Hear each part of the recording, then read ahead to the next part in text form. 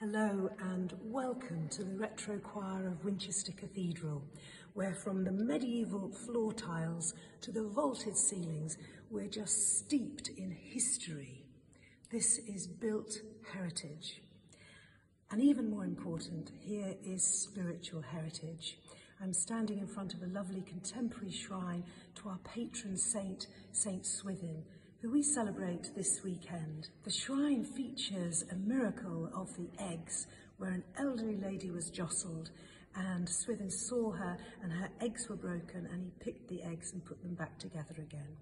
The shrine also refers to the association with rain because it's said that if it rains on St Swithun's Day, it'll rain for another 40 days.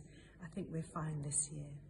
We celebrate the lives of the saints not because we want to live in the past, but because we want to live with faith and confidence now and have hope for the future.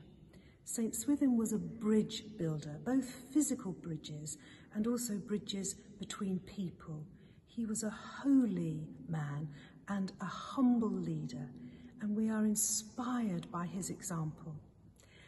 This Sunday, we're going to gather as a cathedral community and receive our charge for the next year from the Bishop. Please do join us in person or online and be part of a community of faithful people with hope for the future.